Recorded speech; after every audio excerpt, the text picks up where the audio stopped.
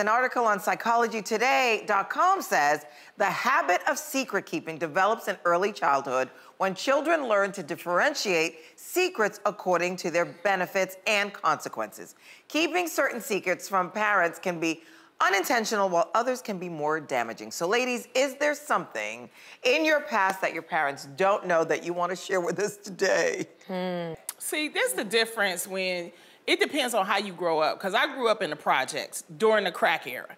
And during the crack era, what they were doing at the time, because the laws were a certain way, was that if you were under 18, if you got uh, caught selling drugs, you would just go to juvenile hall. Yeah. You wouldn't actually go to jail jail. Yeah. So the drug dealers started trying to get the 13 and 12 year olds to sell. And you remember back in that, They'll just in go to juvie. They would just go, and so they had, they were recruiting people. And so you know, they tried to come at me Mm. to recruit me one day. Mm-hmm. Sure. And they, I mean, they just kept, they kept on, kept on. And I never told my mother because I didn't want my mother to get involved in that. And so what I Oh, did to was. protect her. Right. And so what I did one day, I went, I said, who is the head dude? Because, you know, I was watching like movies back then, like it's gotta be a boss dude, right? Yeah. And I went to him and I had my French horn one day. She was 'cause I looking a for the French player. mafioso. hmm and I had my glasses and I and I had two pigtails like yours, right?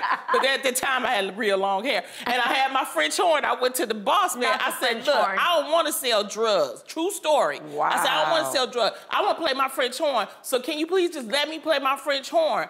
And he put the word out all across. Leave that one alone. Leave, leave four eyes alone. Oh, wow. How And I was that? like, I don't care if y'all talk about me. You got the respect from him. I got the You respect spoke 'cause I up for yourself him. and you, You know what I asked mean? kindly, yeah. And that was the, but everybody else, you know, I mean, because some people, you know, some kids, they Yeah. did it to help their families out. Some Yeah. people did it because they needed it as a means of necessity. I was just broke walking to school with that heavy ass French, French horn. horn. And I never told my mother this, never. So Yeah. there's some Wow. So she'll find out about this right now while Exactly. watching TV. Right. That I told him. I don't know why she never wondered why I never sold. I think she probably wanted me to sell them so she can have some money. like, Let me tell you, my I'm not touching that mom knows everything about my one. life from watching this show. Literally, exactly. eight seasons, there's nothing left for me to tell that my mama don't know. But I will say this, even though I didn't tell her in the moment, as me and my mom have gotten older and become friends, at this point now, she knows everything, so there isn't anything that I would tell her today. But I was that teenager that, like, I went to Brooklyn with a few of my friends in high school, and they had older sisters, and their sisters took out of their wipey box, they had kids, and had a wipey box that had weed in it, and had to smoke weed and watch Cheech and Chong.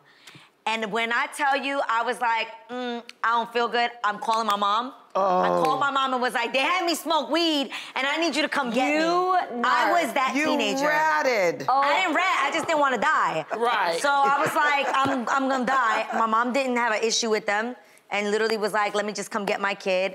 And yeah, that was that time. What else? One time I tried to smoke cigarettes. Came home. My mom saw me. Uh, she saw that the bathroom. I had one of those bathrooms you had to step into the tub. Yeah, And open yeah. the window. Yeah, yeah, yeah. And so I tried to smoke. There were these cigarettes called Eves at the time, and they were long and sexy. And I bought loosies at the bodega, and I was like, I just thought it looked pretty. And when I finished, she was like, "You were smoking cigarettes," so she could smell it in the bathroom. right, right. And I was like, "I'm trying, but it, it makes me nauseous." I couldn't even. I thought, and the only thing I got along with long enough was when I got my nipples pierced. and now this was in my early 20s. It's and the she whole found, life story. She you know, need like- to write a memoir. She found out like a month later. you need a memoir. I Take it. She found out a month later.